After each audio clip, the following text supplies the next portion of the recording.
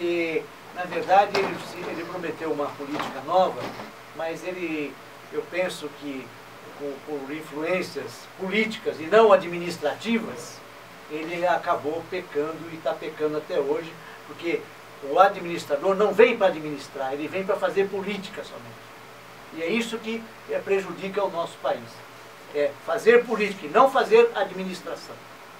Né? É, Didi, é, eu estava pensando aqui, enquanto você falava, é, daquela parte que muito também é, me orgulha de ser seu amigo, é, daquela parte é, religiosa que você é, tem, que você tem, que eu já vi você em vários momentos, na própria OAB, você me, a, levava lá palavra de Deus na própria OAB, fazia missas, etc. Fala um pouco dessa sua vocação para nós, É, na verdade, eu sou um católico apostólico romano praticante. Maravilha. É, todos os meus sacramentos foram celebrados na Igreja Matriz de Guarulhos. Igual eu.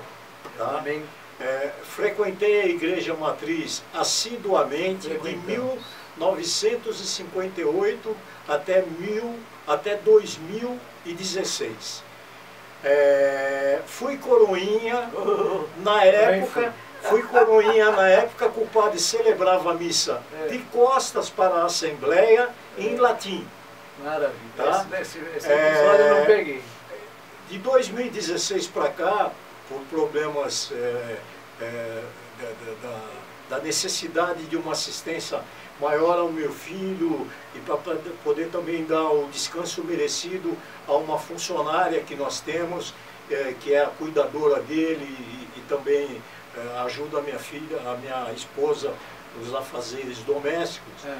É, ela está conosco há mais de 25 anos. Então nós entendemos porque ela tinha que dormir em casa no sábado para a gente poder ir no domingo na missa de manhã. Hum. Então nós hoje nós vamos às missas aos sábados à tarde, às 17 horas, é. para poder dispensá-la, para ela poder passar o Maravilha. domingo inteiro com a esposa, com a família dela Muito e tudo louvável. mais. Hoje nós somos católicos frequentadores da igreja São Judas Tadeu, da Vila Rosália, enfim, nós somos um católico itinerante. Bacana. Né? Porque nós não podemos, eu me dediquei durante muito tempo à área de liturgia da catedral, enfim, eh, onde tinha a questão da leitura, do comentário, e hoje, infelizmente, não posso fazer mais. Sinto saudade, mas eu tenho certeza absoluta que a religião ela começa dentro da sua casa. Se você não der assistência dentro da sua casa, está alguma coisa errada. Então, Jesus, com certeza, ele sabe que a minha missão na minha casa é tão forte como a minha missão religiosa de ser católico. E continuo o mesmo católico, fervoroso, confiante em Deus. Porque a oração que eu faço todo dia de manhã é assim, Senhor, não solte da minha mão, porque nada sou sem ti. Amém. Amém. Essa é a minha oração diária. Logo que eu levanto, é a primeira coisa que eu, eu faço. Eu tô... Agradeço pelo dia que inicia e coloco a minha vida nas mãos de Deus. Mais um motivo que me deixa feliz, Didi, é de saber dessas particularidades e, e dessas coisas em comum que nós temos, né? Aqui na nossa cidade, da gente sempre ter participado de tudo e de todos, né? E o fato de você ter sido coroinha é igual a mim, só que eu não sou já um fervoroso católico, eu tenho muita fé, é, eu tenho alguns santos que eu venero, tá? é, acredito que Deus está em mim, está em você. Aquela frase namastê indiana, eu sou muito fervoroso nessa frase, acho ela linda, porque os indianos quando se encontram eles falam namastê, que parece que significa, pelo que eu vi, que o Deus que está em mim saúde o Deus que está em você. Né? Porque cada um tem uma fé maior, outra fé Sim. menor tal. A fé às vezes oscila um pouco também. Mas eu me lembro também que quando eu comecei a frequentar a igreja, até foi pelo fato que você indagou aí, de eu ser muito namorador tal. A gente ia na missa até para paquerar mesmo, sabe? Mas aí a gente foi entrando tal, aí vem o catecismo, vem a primeira comunhão, né? E coroinha tal. Então, realmente, eu cresci dentro da igreja E me lembro com saudade dos momentos que eu fui rezar a hora da Ave Maria, às 6 horas da tarde, na rádio difusora de Guarulhos, que já era lá na, no, no, Casas André Luiz. Casas André Luiz, eu ia com o padre Geraldo, Geraldo. o saudoso padre Geraldo, o saudoso padre João Sampaio, outros padres, o, tinha outros que agora não me lembro o nome, mas muitas vezes fui com eles lá. E é uma pena, outro dia até procurei saber se tinha gravação lá que eu queria ver, né? Pelo menos ouvir minha voz, né? Mas não tem, não, houve um acervo, destruíram tudo.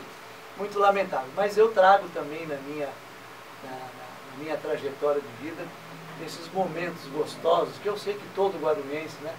Eu tenho estudado no, no Capistano, como você estudou, também estudei no Conselheiro, ah, frequentamos praticamente em momentos diferentes, né? mas o, os mesmos locais, né? E agora com essa convivência nossa também, que nunca, nunca se dissipou, né? A gente se encontrar em vários locais públicos, sempre que nos encontramos é aquela alegria, é um bate-papo, é uma discussão, é um, uma contestação. É, e estamos juntos, né, Didi? Com certeza. E é isso que nos traz, que nos dá a felicidade e a alegria de viver nessa nossa cidade de Guarulhos, né? É uma... apesar de todos esses problemas que nós temos. Né? É, Guarulhos é, é uma cidade que tem problemas como tantas outras. Né? Agora a gente tem a liberdade de falar de Guarulhos e falar de uma forma é, até confortável, porque a gente acompanhou o crescimento Sim. dessa cidade. Sim. Quer dizer, a gente sabe é, Guarulhos da Rua Dom Pedro, onde passava a boiada, é. onde a, a, boiada passava para poder ir para o Matadouro, que era do lado de lá da Via Dutra, onde a Via Dutra era uma única pista, é, quer dizer, Guarulhos os animais paravam na, na, na, porta da igreja, onde tinham os bebedouros de água e tudo mais. Quer dizer, nós somos de, dessa Guarulhos. A Rua José de Andrade também tinha determinadas é, boiadas que passavam pela rua José de Andrade. Né? Você morava perto daquela casa onde tinha os dois leões, né? É, exatamente. É, ali, famosa, perto, ali, ali perto Hoje tem um prédio lá, ali perto do, do lado do Matrone. Do Matrone, Família Matrone tradicional ali, né? Tinha um posto de gasolina. Isso. É, maravilha. Tempo bom, né? Seu Januário Matrone. É. Deixa eu te fazer outra pergunta para ver se você tem algo em comum comigo. Você chegou a cabular aula para comer pastel na penha? Não. não. Não. Ah, que pena de você não, perdeu. Não, não, mas aí é que tem um negócio. Não, não, não, se eu tivesse que não feito um isso... que não é, foi comer pastel na penha. Eu, eu, mas eu vou fazer, é, falar uma coisa é, que você com certeza fez. Quando a é. gente era jovem, é. terminava os bailes, a gente ia tomar chá de cebola lá no Ceasa. Você foi alguma vez? Então. Já tá vendo? Fui. É da minha juventude, é. que não é da sua época. É, é Nelsinho? sempre falaram. Sempre Entendeu? falaram pra mim de ir é, lá, até hoje eu nunca fui tomar não, uma sopa de cebola. É uma delícia, cara. É. Você vê como é. É que é, a idade, né? Ah, o Nelsinho quer falar alguma coisa aqui, o nosso diretor? Pois não, fica Ele conhece a Vila Augusta, não? ah, conheço. Saudades da Vila Augusta. Qual a recordação da Vila Augusta? Tive o, o prazer de jogar no Vila Augusta, no Esporte Clube de Vila Augusta. Joguei ali é, eu era menino no tempo do Macalé, Macalé era um machazista, você lembra dele lá? Na, na, na no, no, no, Macedo, eu já ouvi falar, no Vila Augusta, lembro dele, né? né? onde o, o, o, o, João Federação é, era ali da região e, e era o presidente... Como que era o nome daquele colégio do estado da Vila Augusta famoso? João, João o quê? João... Esqueci agora. Eu, esqueci. Eu também esqueci. Eu esqueci. É o do lado do, do, do Fracalanza ali, né? Aquele perto. É, lá em cima, lá em cima. Perto, perto, perto da, da casa do, do, do saudoso Ribamar. Ele Ribamar, que era a delegacia embaixo. Tinha a delegacia. Didi, eu, queria, eu queria aproveitar no programa do, te falar que quem me trouxe aqui para essa cidade foi o saudoso Gilmar Lopes. Lembra dele? Claro que lembro. Ele era do Partido Verde. É isso? É, Gilmar, sim. E tem uma escola, inclusive, no Jardim é, Munira, que tem, recebe o nome, dele, dele. Ah, Gilmar Lopes. É, tem aqui no, no Bosque Maia também um teatro ao vivo ali que recebeu o nome dele, mas ninguém um, utiliza foi lá. Um, com a cara lá. É. Foi um ferrenho político onde brigou muito pelo é, verde. muito combatido. Pelo verde aqui na cidade. Gilmar Chegou até a apanhar né? na, na, na sessão da Então lá Câmara. na Vila Augusta,